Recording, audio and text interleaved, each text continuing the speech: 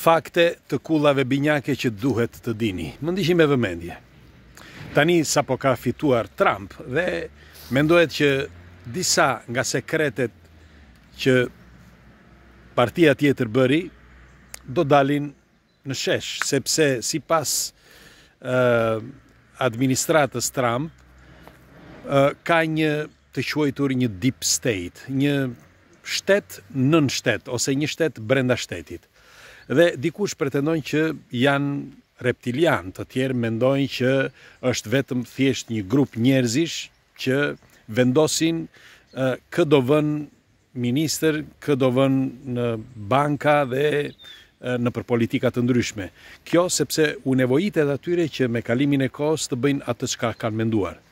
Tani të përqendrohemi tek njëmbëdhjetë shtatori, pra te kullat binjake. Pikë së pari, duhet të dini që para disa viteve ishim ë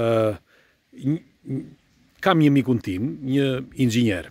Ky inxhinieri, inxhinier ndërtimi, tregonte se kullat binjake kishin luhatje të mëdha, sepse ishin ndërtuar, kishte vite që ishin ndërtuar, hekuri nuk ishte i pastër dhe për më tepër duke kaluar, duke qenë në pranë ujërave, me kalimin e kohës Pësoi një ndryshim hekuri dhe lëviznin shumë kullat binjake. Dhe kjo është pika e parë. Pra,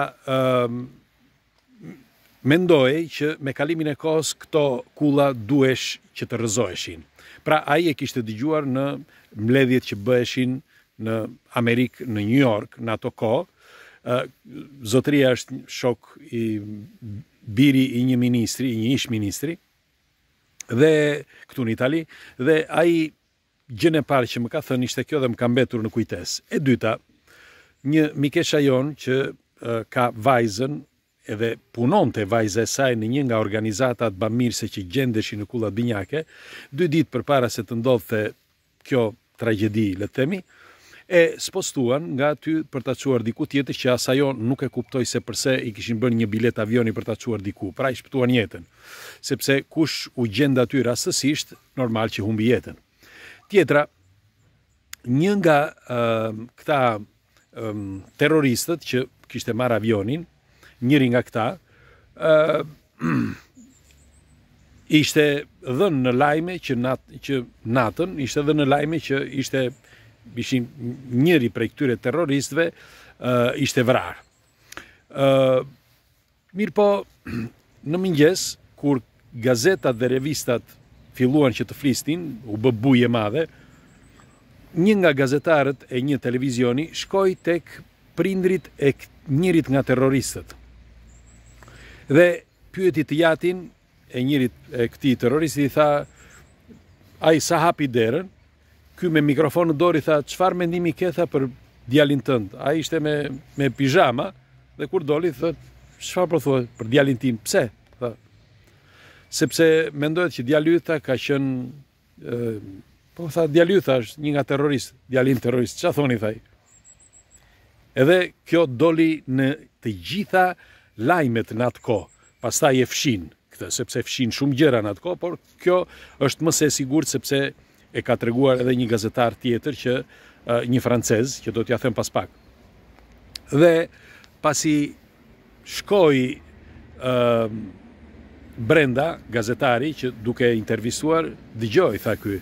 Unë nuk e di për se e ke fjalën, i tha i ati, i ati gjoja i terroristit, por në qoftë se tha, ju tha, thoni tha që biri im tha ka qenë mbrëmë tha dhe e kanë vrarë tha, si është e mundur tha që unë sot në mëngjes fola me të tha. Kishte folur në mëngjes me të birin dhe i biri i kishte thënë kam një problem por mendoj që ta zgjidh në mëngjes. Dhe pastaj nuk u gjet më. Megjithatë, ë nuk është vetëm ky problemi, por problemi ishte dhe i avionit që gjoja u përplas në ë në Pentagon. Pra, në Pentagon, qoftë se E dini, ajo është, ai është misteri më i madh që flitet, sepse është budallalëku më i madh që të gënjesh popullin në këtë në këtë mënyrë. Pra aty shpërtheu diçka dhe thanë që ishte një avion, por kur mbërritën gazetarët e kishin hequr avionin. Pra u përplas avioni, u fut me turi në në anët e murit, por çudia ishte që avionin e kishin hequr sepse sepse e kishin hequr. Ku i dihet? Ç'u thoshin, e hoqën. Ë dhe të gjitha këto prova, një gazetar i famshëm nga Franca gjende që gjendej rastësisht në në Francë dhe ai ishte një nga zëdhënësit më të rëndësishëm të France TV, ai kishte mbledhur 21 fakte të pakundërshtueshme me video, me inter, me intervista, të gjitha, me foto, të gjitha. Dhe edhe një nga këto ishte edhe ky zotëria që thoshin që i ati këtij i këtij terroristit që thoshte që nuk është e vërtetë që djali im vdiq dje, por Unë sot kam folur me të edhe këtë si provë që e kishte marrë ky francezi, veçse pas dy ditësh francezi vdiq në një aksident.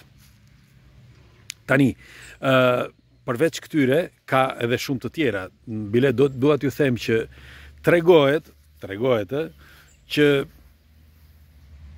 Ka një sistem, pra ekziston një sistem që mund të shfaqë me holograme, holograme tani ne më përpara ne hologramet mendonim se ishin kështu, ë?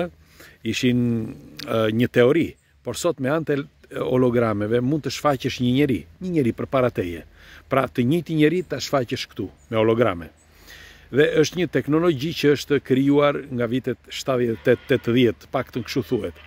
Dhe është përdorur për ë për ushtrinë.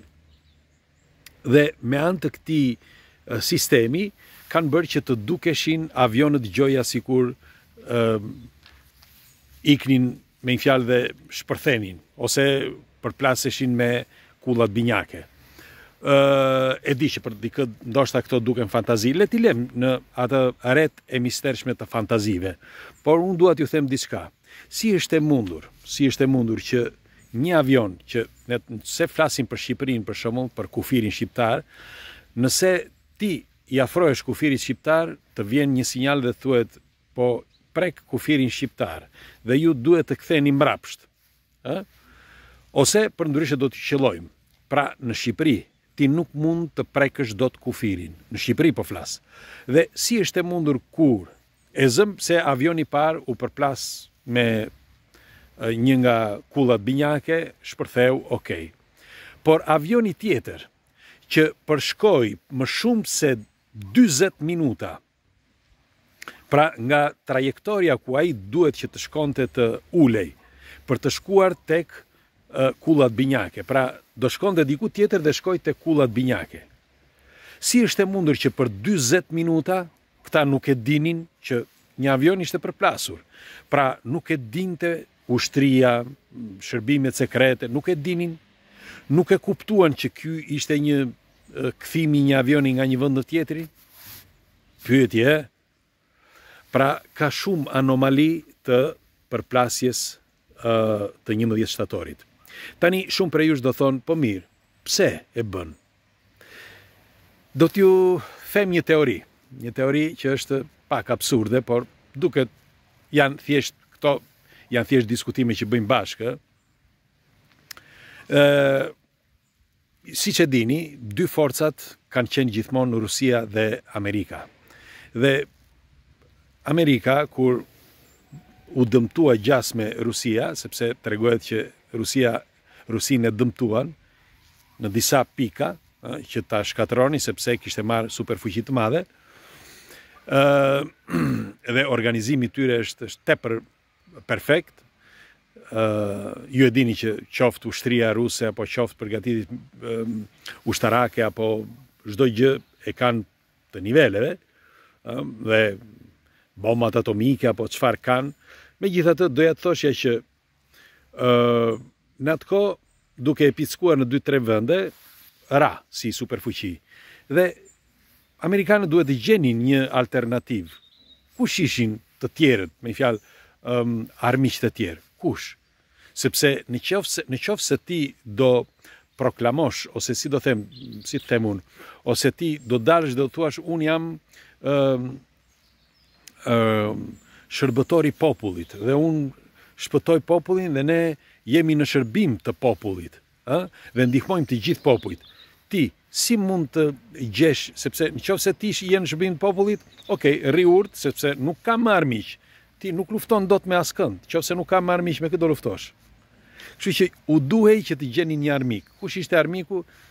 E lindën një armik nga hiçi, një Bin Laden, një ku e di unë, një hiç dhe që pretendohet në radhë të parë që ishin miq, ishin shumë shokë me me Bushin, sepse ishin në të njëjtën shkollë, por ia dhanë gjoja si emër atij, e formuan atë që të jepnin një të mund të kontrollonin sërish, të kishin vrull që të kontrollonin një pjesë tjetër të botës dhe të aksioneve, të aksioneve të parave, të gjithë se çdo gjë bëhet për pushtet dhe para, për asgjë tjetër. Dhe kështu që gjetën këtë dhe pastaj formuan se si do bëhej. Meqenëse kullat binjake, siç ju thashë, gjithë ato probleme që duheshin rrëzuar, atëherë krijuan këtë. Dhe këto nuk janë teori që i them unë, këto janë teori që i gjeni gjithandej. Dhe bile amerikanët kohët e fundit dhe vetë amerikanët nuk u kanë besuar. Fillimisht ndoshta shumë prej tyre besonin për kullat binjake që ishin rrëzuar nga mm, një grup terroristësh. Por Me kalimin e kohës e kuptuan që nuk ishte kështu. Në fakt, gjeni me mijëra video, me miliona shkrime, ku pretendohen të gjitha këto që ju thashë. Vetëm unë i mblodha në një video të shkurtër, që t'jua servir juve që të mund të diskutojmë së bashku. Pse duhet të diskutojmë? Sepse bota nuk është ajo që ne mendojmë.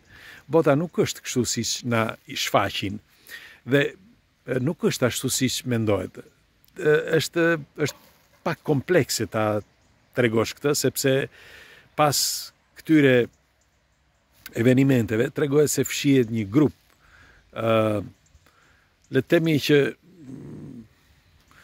bën atë çka Ata programojnë, pra çdo gjë, çdo gjë programohet me kohë për të arritur në një qëllim të caktuar. Qëllimet ne i njohim kur ato janë zbatuar, por përpara se të bëhen këto, me një fjalë në momentin që programohen ne nuk i njohim. Kështu që se si do shkojnë gjërat tani, për shembull që fitoi Trumpi, nuk dihet, por mendohet që Trumpi do nxjerrë në pah shumë nga këto mistere dhe nga këto le të themi teori konspirative që mendon dikush dhe do luftojë sipas gjasave the deep state, pra shtetin e fshehtë ose ata që mund të quhen masonë apo mund të quhen uh, një grup njerëzish që lufton kundër, jo lufton, por vendos fatin e të gjitha shteteve në mbarë botë. Sepse duke qenë një superfuqi, ata duke u gjendur aty, superfuqia lëviz çdo gjë. Në fakt, qoftë se keni vënë re, Amerika ka forcë në gjithë botën, kudo qoftë, edhe në trojet shqiptare. Kështu që pres komentet tuaja, Ju falenderoj që gjendemi përherë këtu bashkë. Kalofshi një ditë mirë, punë të mbarë të gjithëve dhe kush kalon këtu rastësisht që shikon këto video do t'i lutesha t'i bëjë like faqes dhe videos në mënyrë që të shihemi sërish. Ju përqafoj të gjithëve, pres komentet tuaja do t'i lexoj. Hajde, ditën e mirë.